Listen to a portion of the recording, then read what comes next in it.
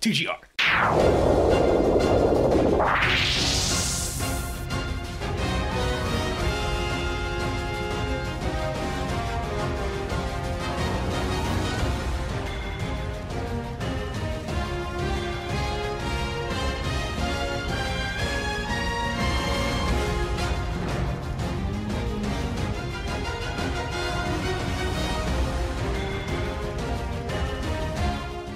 Hey guys, it is your boy Onix, and today we are doing our next book review. And what book is it, you might ask?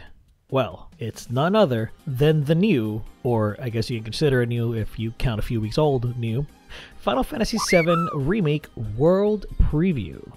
Now, this book, published by Square Enix Books, is brand new. I've not taken it out of its uh, shrink wrap, so we're gonna do that on this video.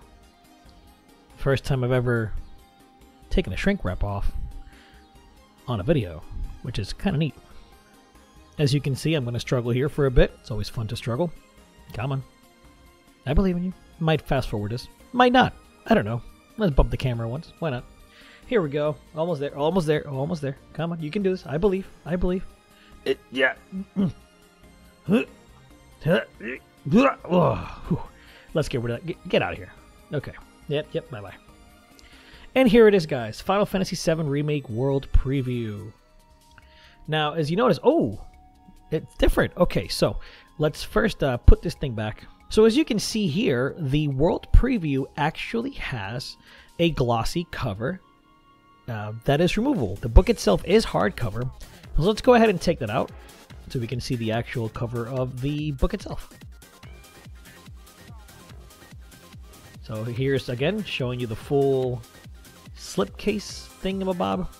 Plastic slipcase, I don't know. So here is the actual art. It is really nice. I really, really like this. It is the uh, it, it, one of the, one of the promotional wallpapers for the game. Beautiful stuff. Love this artwork. I believe Rudy actually has it as his background for his PC. But anyway, let's get right into this little book. Uh, so Final Fantasy VII Remake World Preview. Here's some interviews and notes from Kitase and Nomura, which obviously were heavily involved with the original and the remake contents, and here's some prologue. So I've never seen one of these preview books before. I thought it was going to be like the Ultimania archive, so let's just see how it really is. Uh, here's some key terms. Chapter 1, it's about the characters. So here's Cloud Strife, uh, some nice art, some screenshots of the game, and the promotional art that was remade from the first one, Aerith Gainsborough. So yeah, a lot of screenshots, a lot of background information. Well, actually, not a lot of background information. It's more like snippets here and there. And I, but I do say I'd like to see the full quality art from the from the game, the one that was remade, because that art is really really good and hard to find online at full quality. Um, here's Barret, here's Tifa. Like this art in particular is just really really well done so far from what I'm looking at, I'm not really sure if I like the fact that it's a lot of screenshots from the game. The game itself looks phenomenal. This is one of the best looking uh, games this generation, in my opinion. Uh, it's up there with Last of Us Part 2, especially the character models. So, you know, besides the promotional art, to see a lot of screenshots, it's a little disheartening. Here's Sephiroth, this page Onix. There we go. More screenshots. Again, the remade promotional art. Side characters or secondary characters. Reno, which is, I mean, I love his fight, by the way. I'll use his, his music here, why not? Uh, Tseng, President Shinra, Heidegger.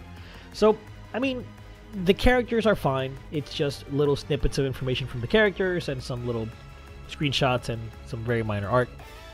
For chapter two, we look we do the location preview. My God, this book is actually really really short. chapter one took uh, a lot of chunk out of that out of that uh, full length.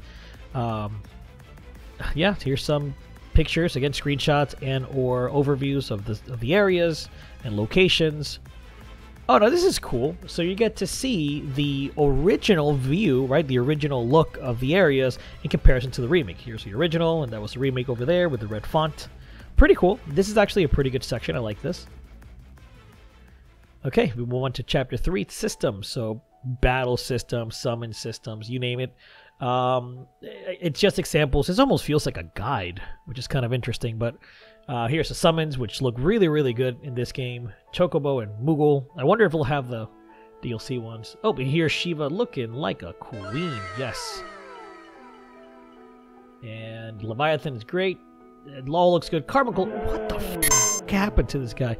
Ah. Oh. Anyway, uh, weapons, uh, upgrading, mini games. So this is okay. This is fine. It's um. Oh, here you go. Looking at the classic battle system, pretty cool. I actually really want to read this section because there's a lot of info here that might be kind of interesting to see. Here's some merchandise, some figures. Uh, oh, those are some nice looking watches. I like those. The plushies, more merch, and umbrella. I guess cool. uh, what is this? Uh, Final Fantasy VII Remake. Oh, so this is a story of Aerith Gainsborough's childhood. Well, there you go. You get some backstory on Aerith. Pretty cool. If you're into that stuff. And that's it. So that's it, guys. I, you know, I've never had a world preview. Again, going in, I thought it was going to be like the Ultimania books, which have a lot more information, a lot more concept art. This didn't have it. Um, unfortunately, this world preview here, uh, it's a little, it's a little disappointing. I wanted to see more concept art from Final Fantasy VII Remake, uh, and we did not get that. So maybe that's on me. I should have known that it was named World Preview, and it was pretty cheap, twenty-five dollars retail, and uh, I paid twenty-two for it. So I probably should have known, but you know, yeah, here it is, $25 retail. I should have known that it was going to be a little bit. It wasn't going to be fully in depth, and that's okay. It's not a bad book for the diehard. I think if you're a big fan of Final Fantasy VII Remake, it's worth having. But if you're not, then by all means. I personally give this book a TGR Silver. It's not a great book, but it's also not bad. It's, like I said, worth having if you're a diehard Final Fantasy VII Remake fan. And as always, guys, thank you so much to our patrons, YouTube members, and Twitch subscribers. Without your support, we wouldn't be doing videos like this at all.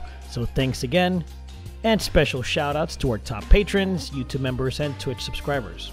Adrian, Daniel, Felix, Jan, JD, Nico, and Shayne. Again, without your support, this just wouldn't happen. So thank you so much for your amazing consideration and appreciation. But anyway, guys, thanks so much for tuning in and checking out this review. We will do a lot more in the future, and we'll catch you on the next one. Later, guys. Hope you enjoyed the video. If you want to see more and stay up to date, subscribe, hit the little bell, and join our Discord. If you want to support the channel, please check out our Patreon or hit the join button below. As always, thanks for your support and thanks for watching.